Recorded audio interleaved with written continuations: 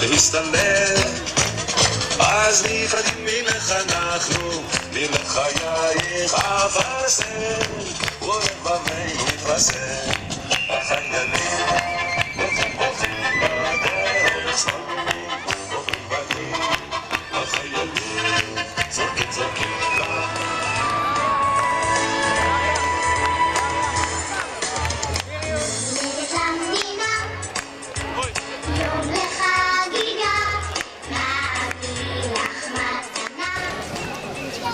עצמאות שמח, הרבה.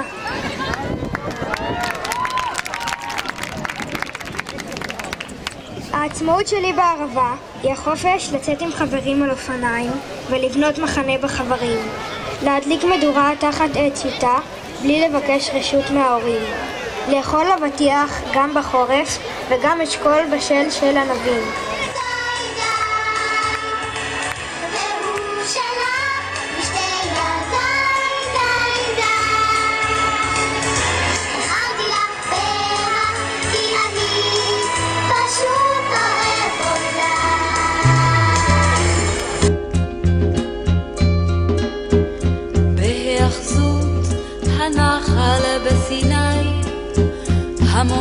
דברים יפים ראו עיניי, כמו למשל חיילת יחפה, וצמתה מוטלת על כתיפה, ובחצר היו החיילים, צולים דגים גדולים על גחלים. המון דברים. מדינת ישראל מציינת היום 65 שנים, ומפעל ההתיישבות בערבה מציין 54 שנים של עמל כפיים שהושג בנחישות, מעוף ובעיקר שותפות וחדשנות, אזור שהוא גאווה לאומית לתולדות ההתיישבות במדינת ישראל.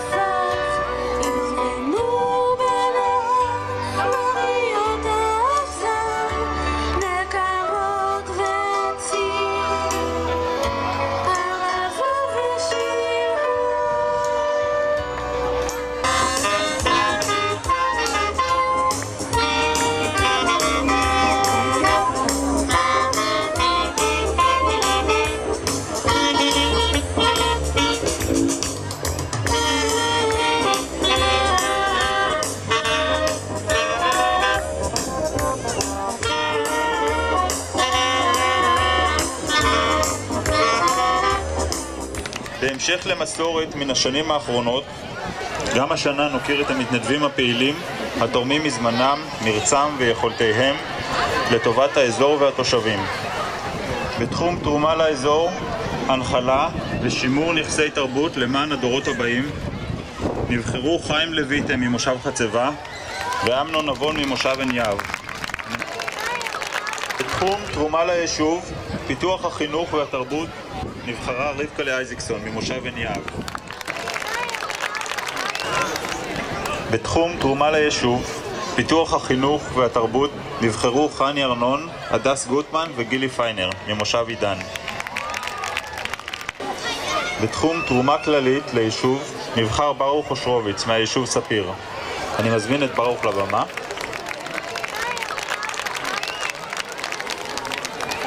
בתחום תרומה ליישוב בנושא שימור ותיעוד נבחרה תמר ליפשיץ ממושב צופר. אני מזמין את תמר לבמה. בתחום תרומה לאזור ולקהילה, בתחום התיעוד והשימור נבחרו מתנדבי הטלוויזיה הקהילתית. אני מזמין לבמה את נציגי המתנדבים, יהודית הדס ממושב פארן ומלי חורש מהיישוב ספיר. כבר לא היה צורך, היינו שרים אז הללויה. לא שלום הייתם רואים איך כל הצבא שר הללויה.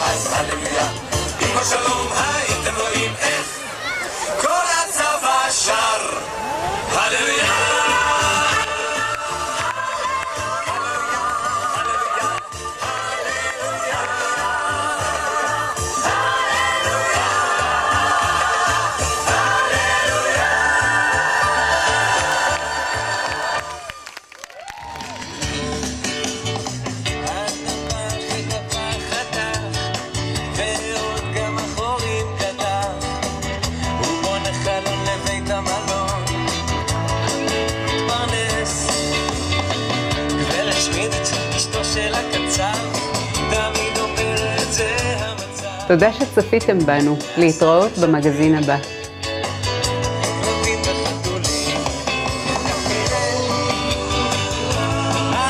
שלי,